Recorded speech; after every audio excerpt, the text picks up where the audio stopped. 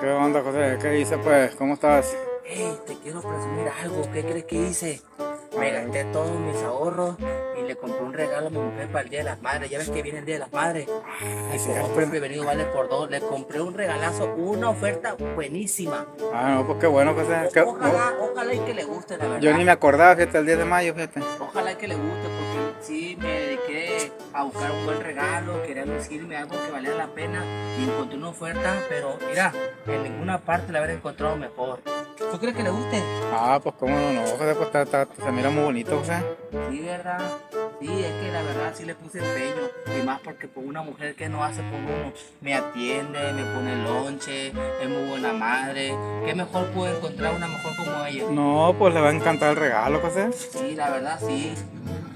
Te la, te, la rifaste, José. Oye, com- pero como que nomás le pegas una, una buena pintadita nomás para que la pintura vea medio poquita todavía para que lo agarre bien, pues.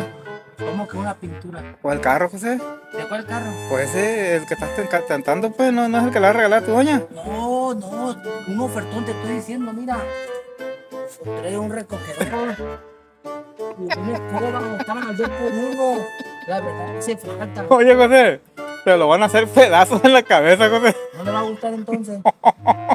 Oye, ¿y el mandil?